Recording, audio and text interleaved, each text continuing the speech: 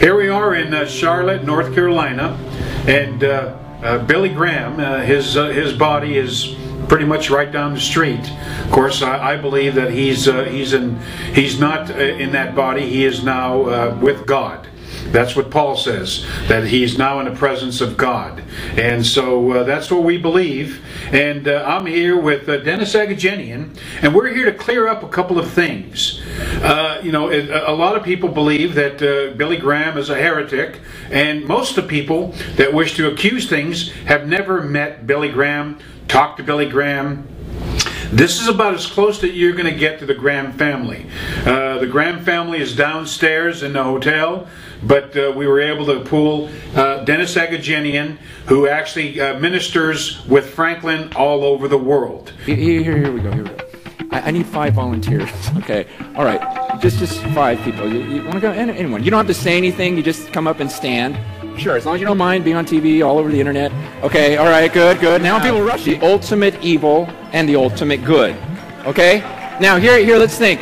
Who, who do you think of when you think of ultimate good, like the best person in the world? I'll, I'll let you be that person. Who do you think? Who do you think of when you think of who is the just the best, most wholesome person on this planet?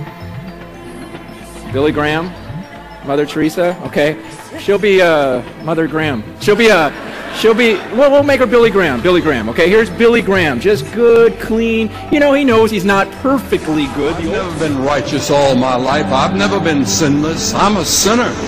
And the Bible says that sinners are lost and doomed and are going to face the judgment in hell. Right. He's got some issues. But here's here's Billy Graham, pretty good. Now, who do you think of when you think of the most evil person you could think of? Hitler. Okay, Hitler. Remember Hitler? You got a little. Okay. Stalin. Okay, here you you you be Hitler. You stand over here.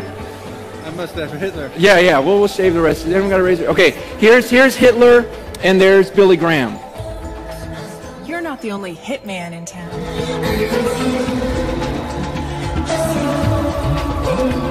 I was saved at a Billy Graham campaign. And if there is anyone that would not want to hear anything bad about Billy Graham, it would be me. But I, I came across some truth that cannot be denied. Billy Graham has associated himself with some of the most wicked organizations and groups that it is unbelievable.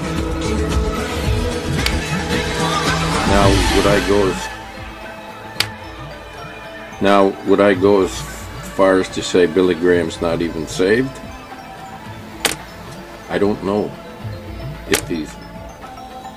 saved or not. But if he is saved, to me, it's proof that a born again person can really go be used to the devil.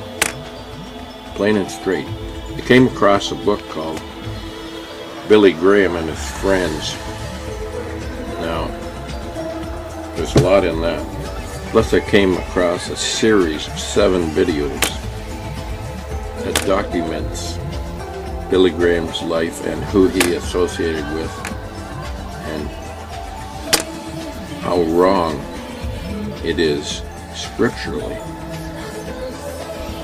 You know, we make a big mistake when we put men up on pedestals. We make a big mistake here. God does not want us to do that.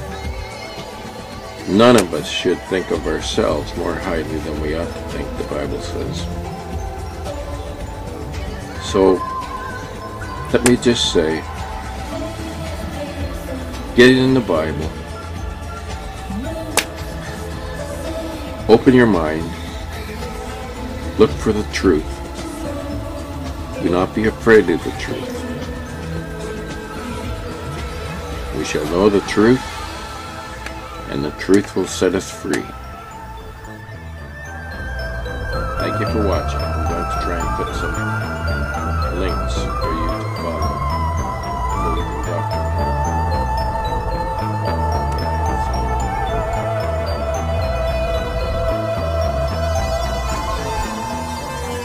Dear Ruben, greetings from New Mexico, my relocation state, and pod, post of duty.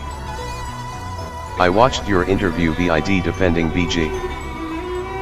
It inspired me, to do a rebuttal video to counter yours, in order to reveal truth which neither you nor the guitar player authority on BG and sound doctrine of Jesus Christ failed to do, which I believe is necessary to undo the damning damage your VID is doing to the ignorant, uninformed sheeple who look up to icons as yourself, but deserve better in regards to biblical sound doctrine which I, and you, are commanded to defend and declare, Jude 3,4.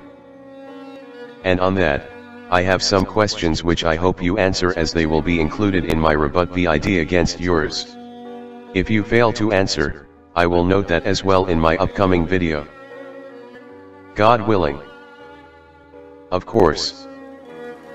Why did you feel it necessary to do such a video on behalf of BG? Are you offended by the BG critics because you are a fan of BG also? Or, were you attempting to defend Jesus, his doctrine, the true gospel, his reputation, etc.? Did you research any of the many accusations slash expose leveled against BG documented by 100s on YouTube, etc.? You must have looked into them enough to ask the guitar player authority those questions, right? Imo, you did a fine job of throwing the guitar playing authority softballs to swing at, and miss. That is all the questions I will ask you for my video. It is too bad for us that you didn't have an audience from which could have asked questions of your one-sided pro BG guest, and maybe pitched you to some hard balls. Here are my questions slash thoughts slash conclusions I am pondering which your VID of Q&A evoke in my mind.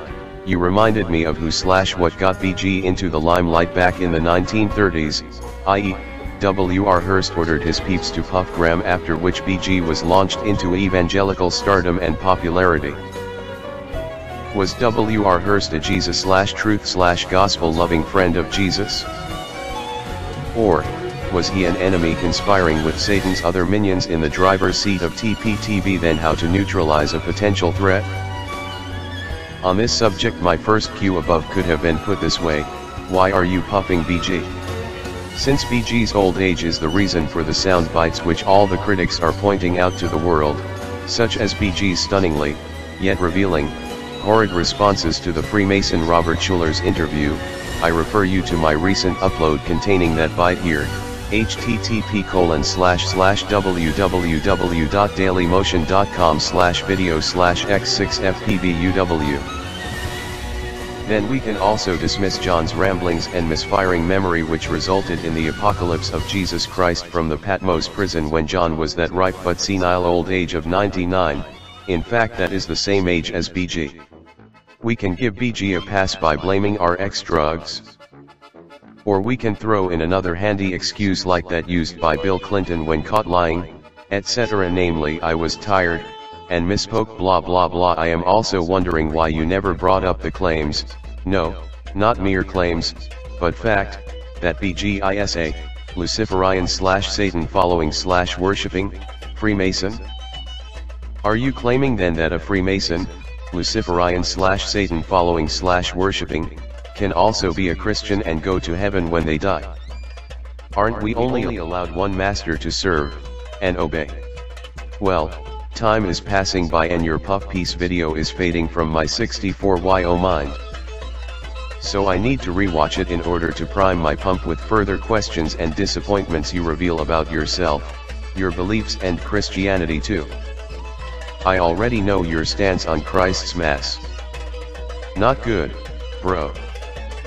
You are an idolater and that with knowledge of that satanic holy days etymology, according to your email to me a few years back, was it 2013? So, I look forward to your responses to my questions which I will include in my upcoming Rebut Unpuff video.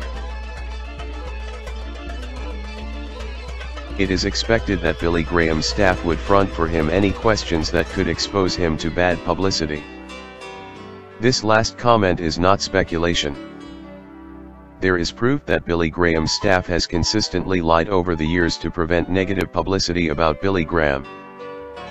When Richard Nixon met with his political buddies to decide who to have run with him, the person he asked first in the smoke-filled room was Billy Graham. I have read the account of this is more than one place, but I will quote Marshall Frady's description of when Billy Graham was asked who he thought should run with Nixon as Nixon's vice presidential running mate. Billy Graham chose 33 degrees Masonic brother, then only 32 degrees, Mark Hatfield.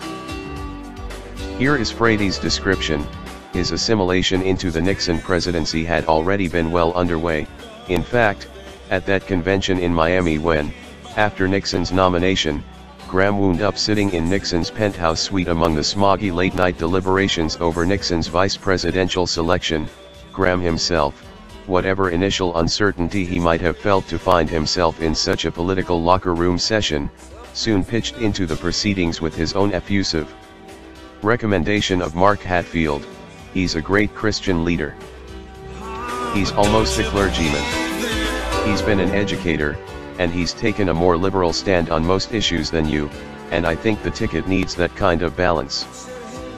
In 1992, Mark Hatfield, along with Prince Hall Freemason Jesse Jackson both were on television in July of last year defending Billy Graham's actions.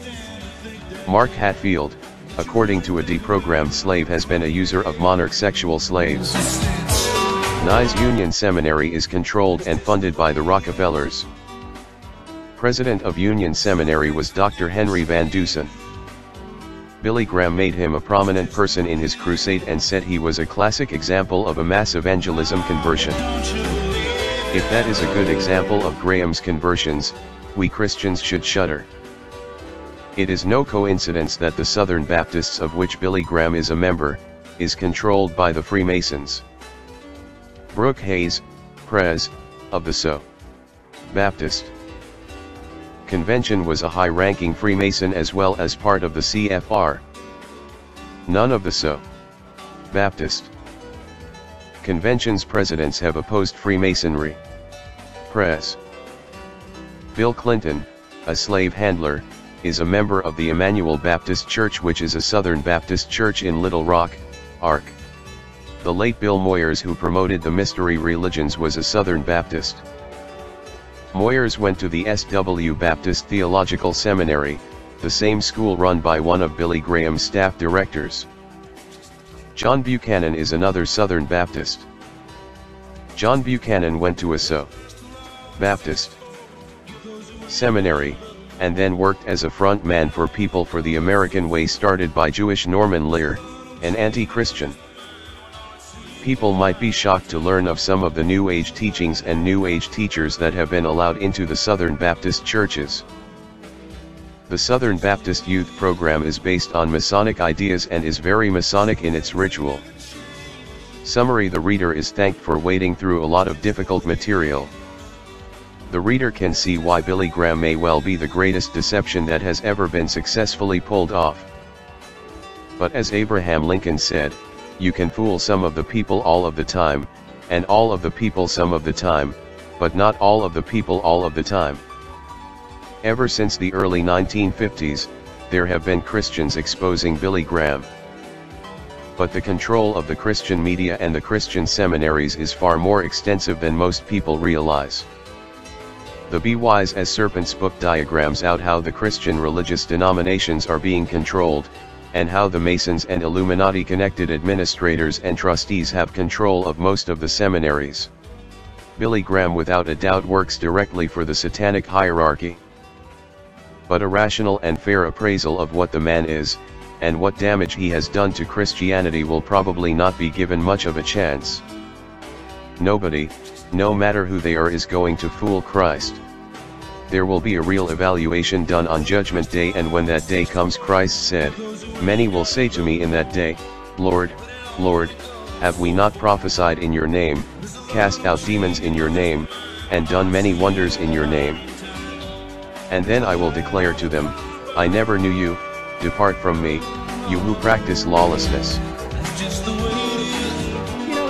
not perfectly good. I've never been righteous all my life. I've never been sinless. I'm a sinner. And the Bible says that sinners are lost and doomed and are going to face the judgment in hell.